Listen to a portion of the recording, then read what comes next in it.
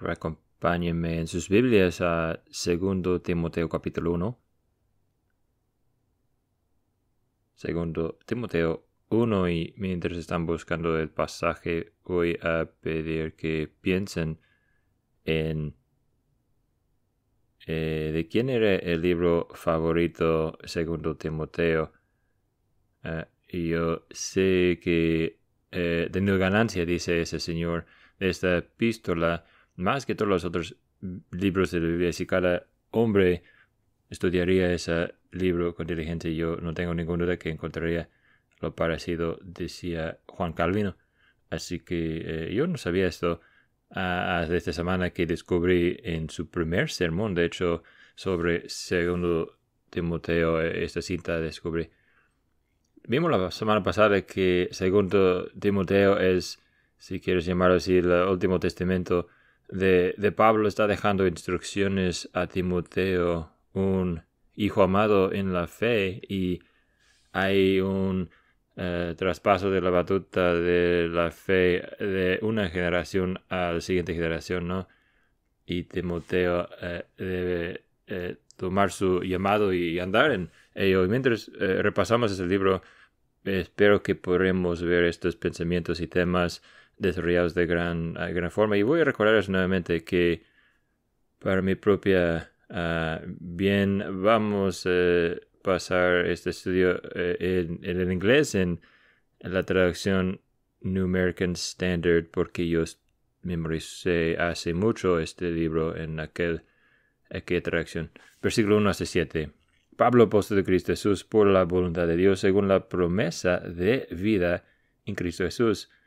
A Timoteo, amado Hijo, gracia misericordia y paz de parte de Dios Padre y de Cristo Jesús nuestro Señor. Doy gracias a Dios, a quien sirvo con limpia conciencia como lo hicieron mis antepasados, de que sin cesar noche y día me acuerdo de mis oraciones, deseando verte al acordarme de tus lágrimas para llenarme de alegría, porque tengo presente la fe sincera que hay en ti, la cual habitó primero en tu abuela, abuela Loida, y en tu madre Eunice.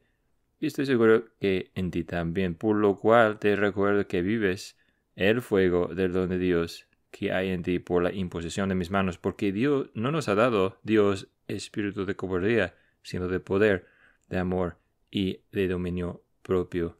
Amén. Que Dios me diga su palabra en nuestros corazones y mentes y vidas. Bueno, si estudias con cuidado estos primeros siete versículos, eh, rápidamente van a poder ver que lo imperativo de esos versículos encontrado en versículo 6 avives el fuego de donde Dios que hay en ti. Avives el fuego del don de Dios que hay en ti y mientras nosotros consideramos ese imperativo no ese llamado a cada uno de nosotros avivar eh, el fuego el, de Dios sobre nosotros, llamado Dios sobre nosotros mientras consideramos esto en esta tarde. Muchas veces eh, vamos a encontrar nuevamente aquí en el apóstol Pablo, encontraremos que el imperativo está, eh, tiene su raíz, ¿no?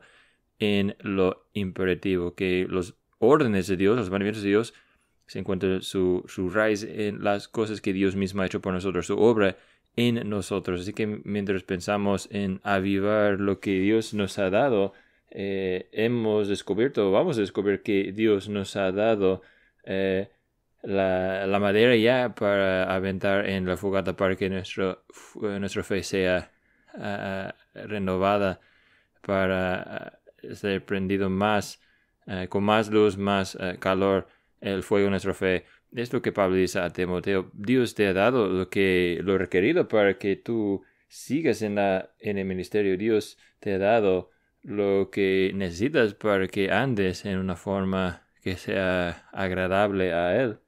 Así que nosotros necesitamos pensar eh, en cómo esas inversiones que Dios nos ha dado eh, en nosotros que nos eh, hacen capaces de, de poder vivir por él. Una de mis tías, cuando apenas se, se casó con mi tío, eh, hablaba de cómo él vivía en una casa de cabaña. Eh, ella se mudó eh, cuando primero entró en, su, en la casa nueva, eh, no tenía buena insulación, insulación esa cabaña y descubrió que la estufa de madera no era suficiente para calentar la casa. Ella tenía tanta frío, tanto frío en ese invierno. Vino por fin eh, primavera y, empezó a, limpiar la, la, casa, ¿no? Y descubrió en un closet ahí atrás, en el closet hay una caja de metal. Y dice, ¿qué es esto? él dijo, pues es la calefacción de la casa. Y ella no estaba muy feliz en, este momento, ¿no? ¿Por qué me congelé todo ese invierno si en realidad tenemos una, un calentador en la casa? Y Pablo nos llama, a nosotros llama a Timoteo aquí, claro, a darnos cuenta de que Dios nos ha dado totalmente exactamente lo que necesitamos para eh, estar andando con Él, creciendo en Él a la luz de sus dones no deben existir los cristianos fríos. Eh, podemos pensar en un pasaje paralelo de Romanos 12, 1 a 2. A, vista de las misericordias de Dios debemos ofrecernos como sacrificios vivos. Y, y tú, Timoteo, a luz de todo lo que Dios ha hecho por ti, debes ofrecerte a Dios, eh, estar avivado por el Señor. Y mientras pensamos en las misericordias de Dios, en la inversión de Dios en nosotros, cada uno de nosotros, eh, podemos darnos cuenta y, confesar también que todavía e, es, fácil que eh, el fuego en incendio en nosotros mismos llega hasta solo eh, que se quedan los carbones apenas a poco apenas prendidos, ¿no?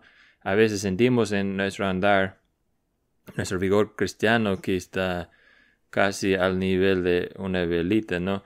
Eh, y que solamente un, un, viento, un soplo pequeño eh, lo apagaría. Así que necesitamos nosotros escuchar y considerar estas palabras, el llamado que tenemos a avivar de nuevo el don de Dios que hay en ti, los dones de Dios que Dios ha dado a ti como bendición. Específicamente esta tarde, mientras pensamos en esto, vamos a pensar en en aventar, como si podemos llamar así, otro pedazo de madera en la fogata, o más, eh, más específicamente cuatro pedazos o cuatro puntos, ¿no?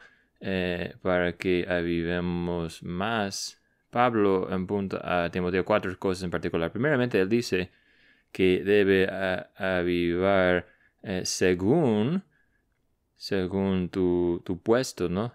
Debes avivar, avivar el fuego de Dios según tu puesto. Pablo, apóstol de Cristo Jesús, por la voluntad de Dios. Pablo dice, mi llamado en Cristo Jesús, mi puesto, eh, mi lugar en Cristo es en particular lo de un apóstol. Ha sido eh, llamado, enviado como mensajero. Soy uno enviado, eh, entregado con el mensaje de Jesucristo, siguiendo en pos de Cristo. Y tú también, Timoteo, versículo 6, tienes un don, un regalo de Dios que está en ti a causa de la imposición de mis manos. Y claro, Timoteo no es un apóstol. Eh, Timoteo no había visto a Cristo, no fue directamente enseñado por Cristo. Sin embargo, Timoteo eh, es un pastor. Timoteo también, como consideramos otros llamados, otras partes de quién es Timoteo, un creyente, es un hijo de creyentes también. Pablo está diciendo aquí, cuando empiezan a enfriar las cosas eh, en tu corazón, Timoteo, necesitas reconocer que tú tienes responsabilidades dadas por Dios. Recuérdate que hay gente que depende de ti. Igual como ha habido gente que depende de mí, eh, hay ministerio que necesita realizarse. El nombre de Cristo necesita ser proclamado y aún más mientras tú descubres que estás luchando eh, a veces, recuerda que tú estás aquí por la voluntad de Dios. Yo soy un oposo de Cristo Jesús por la voluntad de Dios. Esa no es mi idea. Eh, yo no me instalé solo eh, por mi propia idea, sino Dios ha colocado esa responsabilidad sobre mí. Cuando se enfrían nuestros corazones, eh, hacemos bien a, meditar en los llamados de Dios sobre nuestras, nuestras vidas. No, hemos olvidado, hemos olvidado su gracia, hemos olvidado los llamados que Él ha colocado sobre nosotros. Para con la mayoría de nosotros en este cuarto aquí, hoy, el primer llamado que ha sido puesto sobre nosotros ha sido llamado de, de ser un, niño bautizado en que desde el nacimiento Dios colocó su nombre trino sobre ti y dijo, tú, tú, eh, y decimos nuestro nombre, nombre completo, tu nombre cristiano completo, tú eres mío. Yo soy el Padre, Hijo, Espíritu Santo. Yo seré tú, Dios, y yo te estoy llamando a ser mi hijo, hija, andar en mis uh, sendas. Así que, así que todos aquí en ese cuarto, uh, nadie aquí podría decir, yo no he recibido llamado de Dios, no soy apóstol ni pastor. No, tu nombre ya ha sido colocado sobre ti. Y ese es un llamado muy significante, muy importante. Cuando Dios dice, yo te he llamado por nombre y tú eres mío, ante mi senda, sírveme a mí. Así que niños, eh, aun cuando sienten que están luchando, eh, deleitarse en el Señor, a estar emocionados eh, en cuanto a las cosas de Dios, eh, a querer hacer las cosas que tú sabes que Dios te ha ordenado hacer. Recuerden, y yo tengo privilegio de ser hijo o hija de Dios. También podemos pensar en otros llamados que tenemos como creyentes, como hijos e hijas del rey. Las escrituras nos dicen que somos profetas y sacerdotes y reyes al Dios Altísimo, que debemos ser eh, los quienes vigilan en el muro. A lo mejor no somos pastores y apóstoles, pero hemos sido dados hemos recibido la palabra Dios, el mensaje de Dios, hay otros llamados que debemos considerar que tu llamado como esposa, tu llamado como madre, tu llamado como y hermana cristiana afecta a otras eh, hermanas cristianas, eh, afecta a tus hijos y tus esposos, sus esposos también. Primero Pedro nos dice que somos llamados, hemos sido llamados como piedras viva, vivas eh, para un muro de un templo siendo edificado para la gloria del Señor Jesucristo. Dios quiere que consideremos estos varios llamados y privilegio que tenemos nosotros y también sus y también el, impacto sobre los demás para que nos demos cuenta de que no solamente se trata de oh, se ha enfriado mi corazón, pero eso está bien porque los demás van bien. Eh, o oh, mi corazón está, está un poco frío, pero no te preocupes porque no afecta a los demás. No, Pablo dice, debemos considerar la responsabilidad que Dios ha dado a mí y a ti y a través de eso darnos cuenta de que tenemos obligación a avivar nuevamente el don de Dios que hay en nosotros, las responsabilidades que tenemos nosotros. El hecho, en una forma sutil, si, quieres llamarlo así, eh, menciona a Timoteo y la forma, Timoteo, que, que vas cumpliendo tu llamado afecta a los demás. Porque está mencionando eh, ¿no? que la forma que yo me ha, me ha comportado como eh, apóstol en tu vida, Timoteo, por ejemplo, ¿qué tal de, la, de tu abuela Luida? Ella te ha afectado también y, y tu mamá Unice. Y esas mujeres, esas mujeres de fe que invirtieron mucho en ti, tu llamado afecta a los demás. Esos llamados, claro, pueden ser desafiantes a nosotros. Yo estoy seguro que muchos de nuestras mamás, eh, en diferentes puntos a través de su día, a lo mejor diez y media, los martes de la mañana, eh, han dicho una vez, ¿qué estoy haciendo? Eh, ¿Por qué estoy haciendo esto? Y sin embargo, puedes decir con confianza, puedes decir, yo estoy aquí por la voluntad de Dios. Es Dios que me ha dado este puesto, ese, papel. Es Dios que me ha dado eh, estos niños y puede confiar en Él. Así que estos llamados pueden ser desafiantes, pero deben ser algo que nos conmuevan eh, hacia Dios. Dios está en, nuestro, eh, en nuestros llamamientos, en nuestros llamados a ha entregado a nosotros talentos, habilidades, oportunidades y privilegios para glorificarlo a Él, para ponerse de pie para Él, para comunicar por su parte y representarlo eh, en este mundo y traer gloria a su nombre.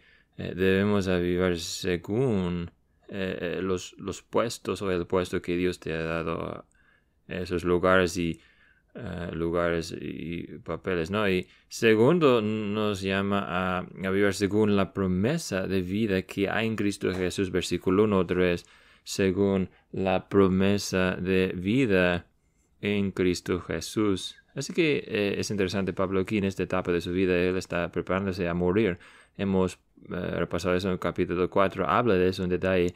No solamente se está preparando a morir, sino sabe que se está preparando a morir, ¿no?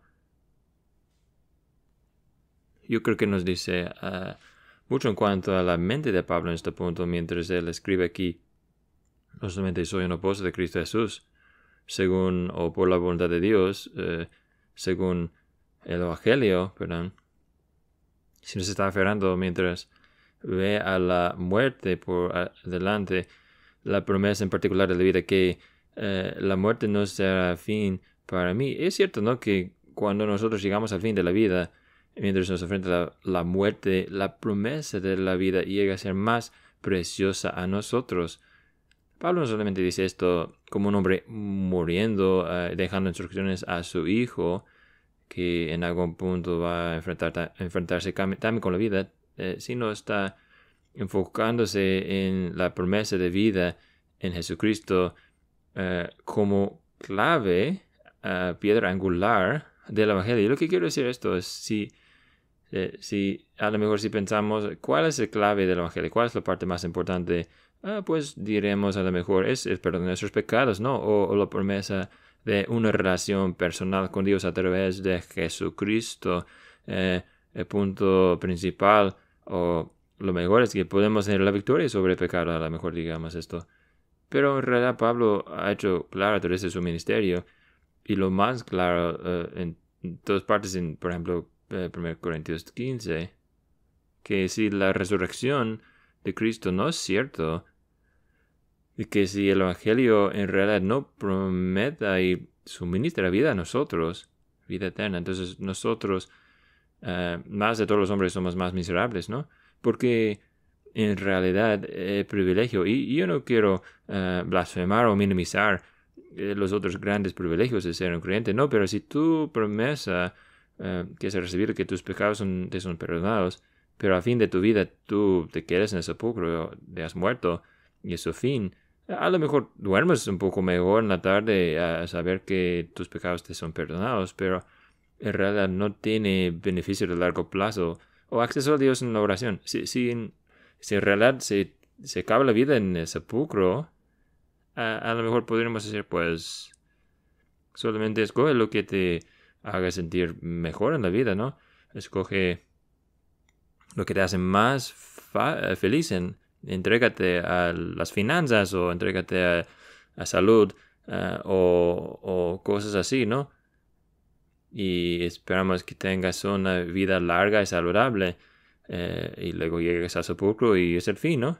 No, Pablo dice, de hecho, el tesoro que me ha dado, eh, me han dado, no es la promesa de vida. Y como ellos quienes entonces tienen su promesa de vida en Cristo Jesús, todo se cambia, ¿verdad? Todo se cambia. Es por eso que adoramos en el primer día de, la semana, porque todo se cambia. Porque Cristo está vivo.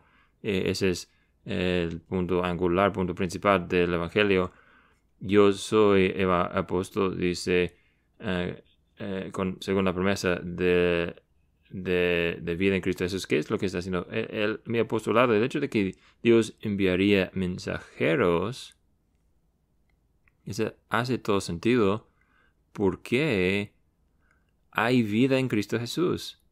Dios ha proporcionado ese regalo increíble. Claro, quiero anunciarlo, quiere que su promesa sea proclamada, así que mi apostolado está según aquel deseo que Dios enviaría mensajeros para declarar esa verdad, pero también su promesa, su promesa de vida.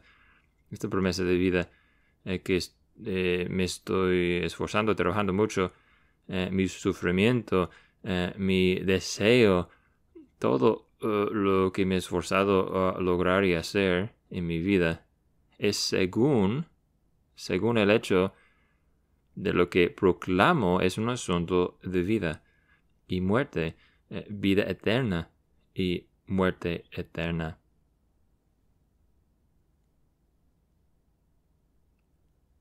Y, saben, la realidad triste para mí y para ti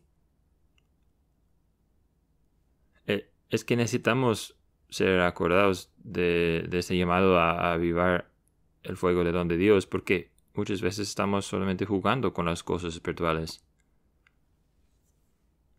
Nosotros tratamos a la iglesia y tratamos a la palabra de Dios y tratamos a instruir a, nuestros niños en la palabra de Dios como algo parecido a, así es buena idea lavar los, los, platos y trastes y meterlos en meterlos en el lavatrastes después de, comer, ¿no? Así es, es buen costumbre, ¿no? Es un buen reglamento en nuestra casa, por ejemplo.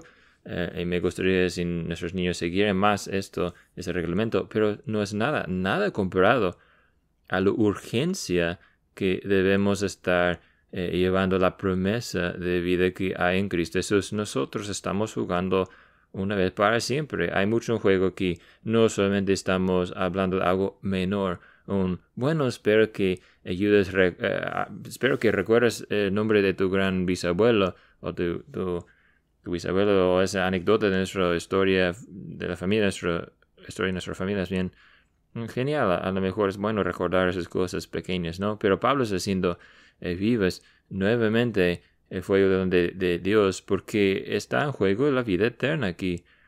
Estamos haciendo caso a la palabra de Dios, estamos haciendo caso a las oportunidades que nosotros tenemos para avivar nuevamente la promesa de, de vida eterna. Saben, la realidad es que mientras pensamos en la vida de Pablo, y la vida que él vivía según la promesa de vida en, Cristo Jesús. Una pregunta que debe perseguirnos siempre es eh, si, si, si fueran eh, partes o aspectos de la vida de Pablo que no fueran eh, explicables aparte de la verdad de la resurrección, ¿por qué sufrirías de tal forma? ¿por qué te pondrías así en esa situación como hiciste, Pablo? Y él diría, a causa de la promesa de, eh, vida en Cristo Jesús que tengo. Y, yo me atrevo a decir, si mientras el mundo más bien vea nuestras vidas, que ellos fácilmente a veces podrían explicar la mayoría de lo que hacemos y cómo nos comportamos.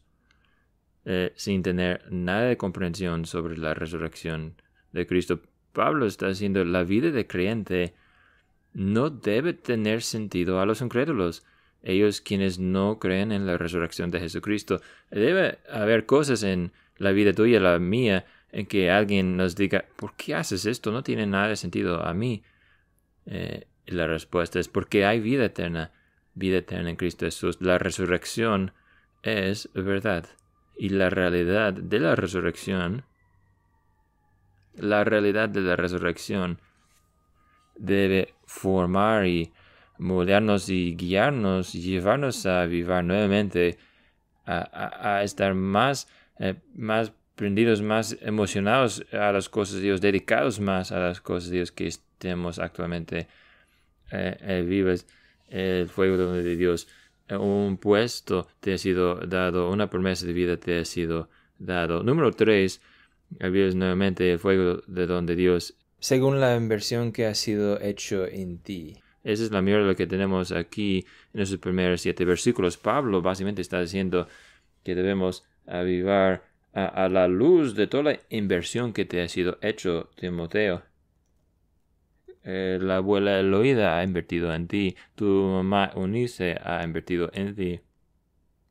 Tú eres parte de un gran linaje de antepasados, versículo 3, eh, quienes han servido a Dios con conciencia limpia. No está hablando de antepasados según carne, según la carne y la sangre. Eh, yo creo que Pablo no está tan preocupado eh, en eso, cómo se relaciona con eh, Abraham. Y no probablemente está este, refiriendo a sus antepasados inmediatos, quienes probablemente eran fariseos fanáticos, ¿no? A lo mejor pensando que tenían conciencias limpias, pero no lo tenían. Sino Pablo está recordándonos a la herencia de, la fe que es suyo y también de, de Timoteo. Y está diciendo, Timoteo, esa inversión te ha sido hecho a ti. Y más, eh, más sorprendentemente aquí está diciendo, yo, yo he invertido en ti. Yo he derramado mi vida a, a ti, a tu vida. Y eso sale de este principio, versículo 2, a Timoteo, amado hijo.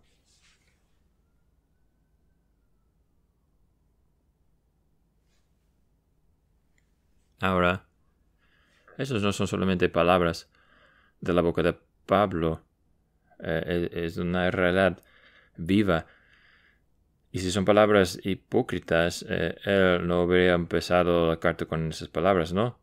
Eh, si, si fueran palabras hipócritas, llevaría a, Timoteo a cerrar la carta, ¿no? tú recibes cartas, ¿no? De, de Visa y Mastercard, esas empresas que quieren decir venderte algo y dicen, amigo mío, quiero, te quiero grandes cosas, ¿no? Y tú lo rompes esas cartas y lo tiras en la basura porque tú no sabes nada de mí eh, y tú ni sabes mi, mi, dónde vivo, solamente tu computador sabe y me envía esas cartas. Eh, pero Pablo aquí dice, Timoteo, mi hijo, amado, amado hijo mío, yo doy gracias a Dios eh, a quien sirvo con limpia conciencia como lo hicieron mis antepasados, de que sin cesar noche y día me acuerdo de ti en mis oraciones. Timoteo, no pasa un día, no hay una mañana y tarde, un día que pase en que yo no esté pensando en ti, que yo no esté orando por ti. Eh, y yo anhelo poder verte, deseando verte, versículo 4, al acordarme de tus lágrimas para llenarme de alegría. Timoteo, hemos llorado juntos hemos pasado tiempo en que tú has sido sobrecargado con cosas y eh, tenemos el tipo de relación en que tú puedes venir y compartir esto conmigo y tú has llorado sobre estos, estas cosas que te pesan. Yo he estado contigo en tus momentos más difíciles. Y sin embargo, versículo 4 también dice, aunque deseo verte para llenarme de alegría. Timoteo, quiero estar cerca de ti, quiero estar alrededor de ti. Mi gozo está vinculado contigo. Yo soy un hombre que tiene en mente, te tiene en mente, yo conozco tu historia, versículo 5, yo sé cómo has llegado a la fe y yo conozco tu andar con el Señor. Hay un amor profundo, ¿no? Que ha sido invertido en Timoteo. Eh, Timoteo, tú eres parte eh, de una inversión, eh, he invertido cosas en ti. Y, eso es uno de los aspectos que Pablo dice aquí, Timoteo, pues recuerda la inversión que ha sido hecho en ti. Eh, conmuévelo, agítalo y avívalo. Hay unas lecciones clave, eh, claves de esos primeros siete versículos que necesitamos considerar. Es el discipulado eh, que el discipulado no se trata de eh, eh, enseñorar, a los demás o, ser mejor que los demás. No se trata de yo diciendo yo soy presidente y necesito algunos siervos. necesito que algunos de ustedes vengan y trabajen por mí para yo poder ordenarles y decirles qué hacer. En cambio, lo que vemos aquí es que si somos, si vamos a ver más bien la batuta de la fe eficazmente pasado de una generación a otra, eh, si tú vas a animar a ellos quienes siguen tras ti de correr la carrera con perseverancia y servir al Señor con todo su corazón, alma y mente y fuerza, si tú deseas aquella transición que vaya bien y, suavemente, eh, la siguiente generación necesita saber que tú los amas. Y no solamente saberlo en la mente, sino poder verlo, conocer que tú estás orando, saber que tú estás orando por ellos, eh, saber que su éxito es un deleite a ti, es un gusto para ti y saber que tú no les estás pidiendo hacer nada de que, que tú no, que no sea para su bien y que en realidad sería para su, su bien. No se trata, no se trata de una operación militar de órdenes siendo pasados eh, por toda la cadena, no. Se trata de relaciones eh, arraigadas en amor, como la, entre, la relación entre Pablo, el apóstol Pablo y Timoteo, su hijo. Y esto entonces para con todos nosotros debe resultar mientras pensamos en esta relación en particular y las relaciones eh, mencionadas aquí en, animar adelante a Timoteo debe llevar a cada uno de nosotros decir yo no estoy aquí hoy yo no estoy eh, yo no sé quién soy como creyente eh, de, de, mi solo hacer no mi solamente de mis esfuerzos. Yo no me levanté solo espiritualmente. Para muchos de nosotros podemos dar gracias que Dios nos ha dado padres piadosos quienes oraban por mí, eh, o Dios me ha dado su quienes me dieron la palabra de Dios, quienes me llevaron a la iglesia. Y yo he tenido pastores, ancianos, quienes han querido orar por mí, hablar sobre mi condición espiritual, quienes han invertido en mí, han tenido, he tenido más bien maestros y maestras eh, en la escuela dominical, quienes me han tenido mucha paciencia y ellos se preocupaban que yo conociera la palabra de Dios han tenido líderes de estudios bíblicos y líderes de grupos de jóvenes. Y, todo más la lista va, ¿no? Y mientras nosotros eh, eh, vemos eh, qué tan frío puede ser nuestros corazones, a veces Dios nos dice, uno de los pedazos de madera que debes avanzar al fuego es recordar la inversión ellos quienes se han entregado han entregado verdades a ti. Y mientras hacemos eso debemos recordar que nosotros ya no tenemos excusa. Uh, vives el fuego de donde Dios según la inversión que te han hecho. En número cuatro, debemos avivar según la presencia del Espíritu de Dios. Versículo 6. Por lo cual te recuerdo que vives el fuego del don de Dios que hay en ti por la imposición de mis manos.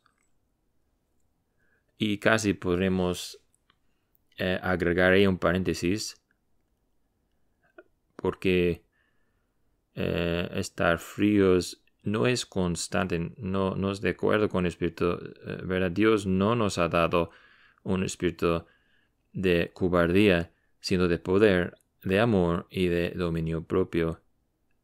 Ahora, eh, los de ustedes quienes eh, me están siguiendo sus Biblias, ah, espero, espero que una bandera roja eh, está prendiéndose, un timbre, no alarma que esté prendido, su cabeza mientras estén, viendo su Biblia. Y, yo creo, todas las direcciones que yo he visto, ustedes tienen un e, minúscula del, del Espíritu, ¿no? En versículo 7 espíritu con minúscula. Si alguien eh, a lo mejor su reacción tiene E mayúscula, quiero saber después del servicio no, pero creo que todos ustedes tienen la E minúscula y ahora eh, yo no estoy de acuerdo con eso. Ahora, el griego, ustedes saben, ¿no? Que la Biblia en griega, originalmente escrito, ¿no? y cómo nos ha sido transmitido a través de los años, todo está en letras mayúsculas. No hay letras minúsculas en la Biblia en griega, ¿no? Eh, eh, pero eso no es mi argumento que quiero hacer, ¿no? no, no es el argumento que quiero hacer. yo fui y repasé todos los versículos del Nuevo Testamento que hablen del Espíritu siendo, siendo dado o entregado. Hay un versículo que yo diría es un poco cuestionable en cuanto a, referir, si está refiriendo a nuestro Espíritu, el Espíritu Santo siendo dado a nosotros. Pero hay muchos, muchos eh, versículos eh, como Romanos 5.5, ahora la esperanza no desilusiona porque el amor de Dios ha sido derramado en nuestros corazones por el Espíritu Santo que es dado a nosotros. yo, yo creo lo que tenemos aquí en realidad en versículo 7 no está hablando de, no está hablando de del espíritu como espíritu de un individuo que Dios ha colocado entre cada uno de nosotros haciéndonos gente fuerte, ¿no? Algo así. Sino que Pablo está haciendo un corazón enfriado. No, eh, no concuerda eh, con el Espíritu Santo. Está fuera del lugar con el Espíritu Santo que Dios ha derramado sobre ti y sobre mí.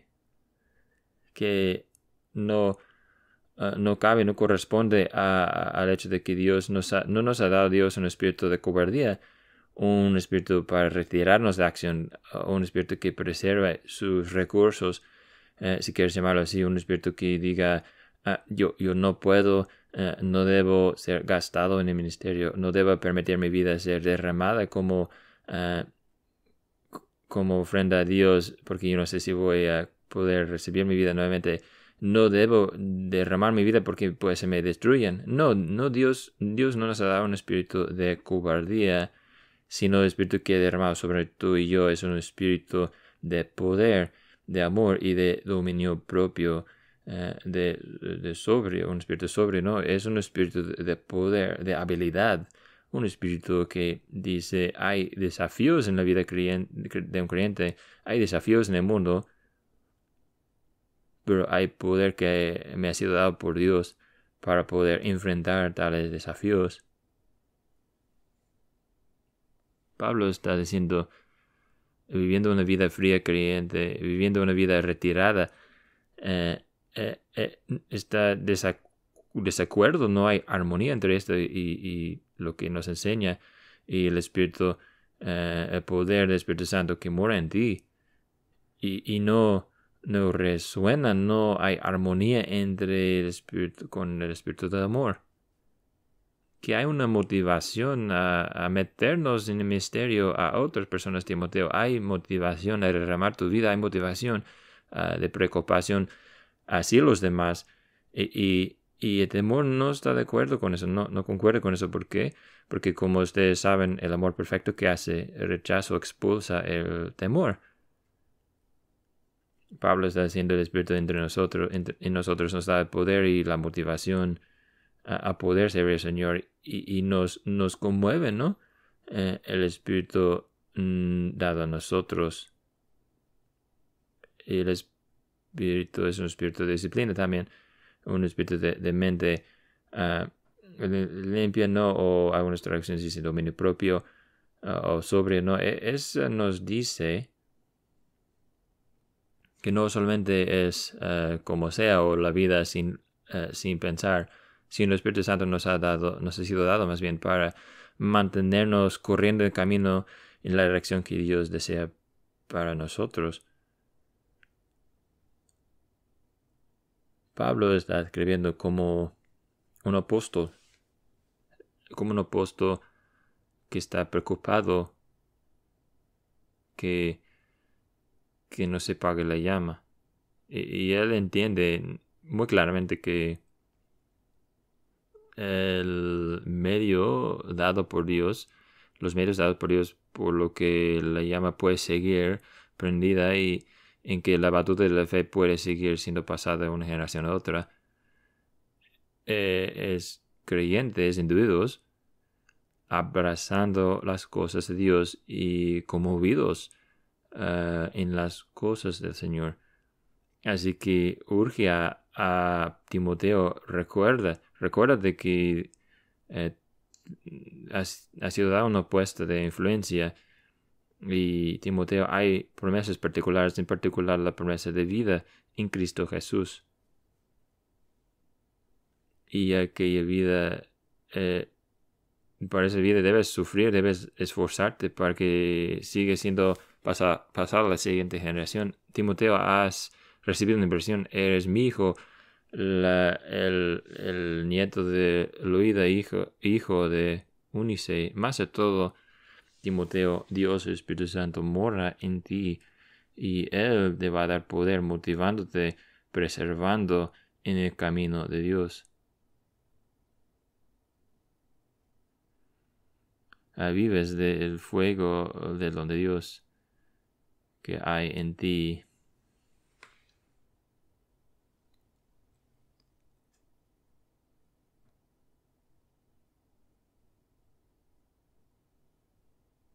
Y mientras nosotros dejamos el pasaje nuestro, saben, eh, una cosa más eh, tener en mente.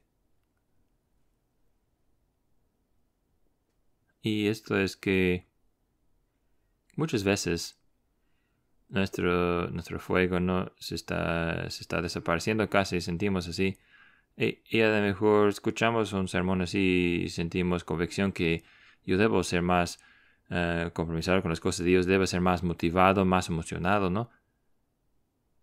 Pero luego decimos o, me veo, yo conozco mi corazón, yo conozco mis luchas, ¿dónde puede alguien como yo, dónde, dónde puede alguien como yo encontrar la madera para prender más la fogata, ¿no? Pero alabado sea Dios que no solamente nos llama Dios a avivar al fuego de donde Dios, sino como enfatiza el texto en varias partes.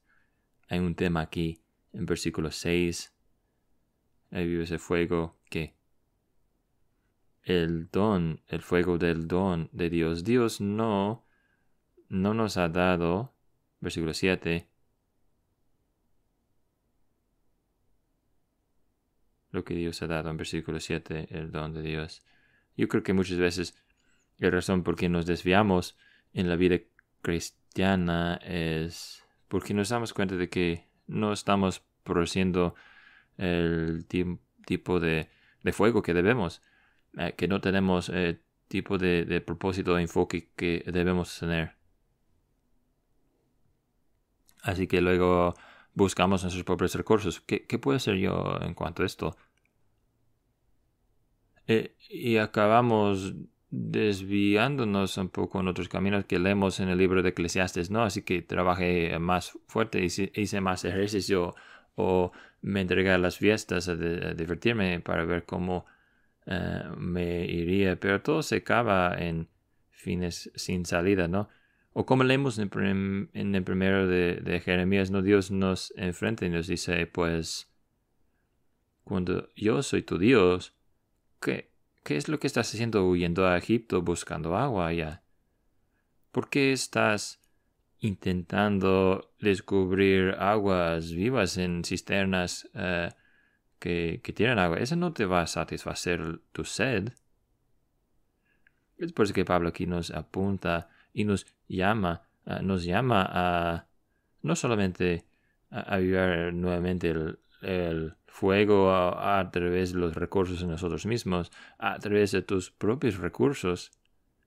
En cambio, avivar el fuego uh, a través de los dones de Dios, lo que la gracia de Dios derramado sobre ti, los llamados que Dios te ha dado en Cristo, las promesas que Él te ha dado a través de Cristo, la inversión que ha sido hecha en ti a través de del amor y preocupación de Dios hacia ti y a través del Espíritu Santo que mora en ti, eh, que ha sido comprado por ti, derramado sobre ti.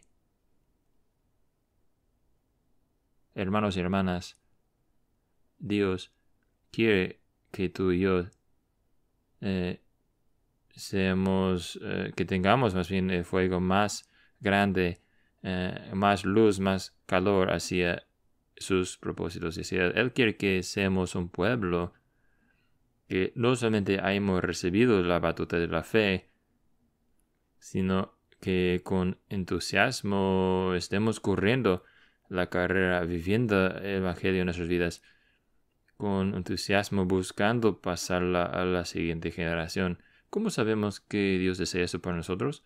¿Cómo sabemos que Dios desea que avivemos eh, nuevamente el fuego del don de Dios? Porque ya ha suministrado la madera que necesitamos, el combustible que necesitamos para, eh, para avivar. Ya ha proporcionado todo lo que necesitamos.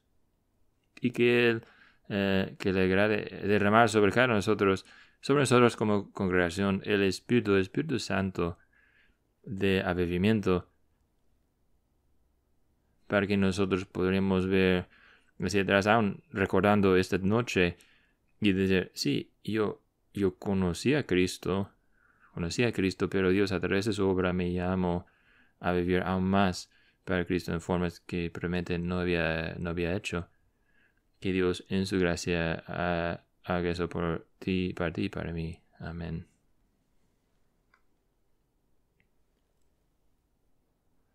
Señor, tú has entregado a nosotros tantas riquezas, tanta gracia, tanta bendición.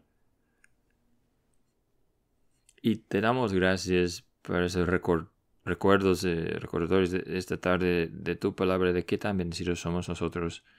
Pedimos, Señor, que tú nos conmuevas en nosotros, que, que nosotros a través de meditación y reflexión sobre tu palabra, estos dones, y esta bendición, Señor, que vivamos en formas eh, agradables, caminos agradables a ti. Pedimos, Señor, que podríamos ser un pueblo cuyas vidas eh, sean vividas en una forma que refleje el privilegio que es que tú nos has dado oportunidades y responsabilidades dentro de tu reino y si sean eh, solamente el privilegio de poder ser un niño bautizado con tu nombre sobre nosotros o si significa ser los privilegios de ser un santo que ahora está al fin de su vida viendo hacia atrás, pudiendo ver todo, todos esos grandes privilegios. Señor, haznos más y más tener en mente las, la promesa de vida, aquellas inversiones hechas en nosotros y el poder del Espíritu Santo obrando en nosotros.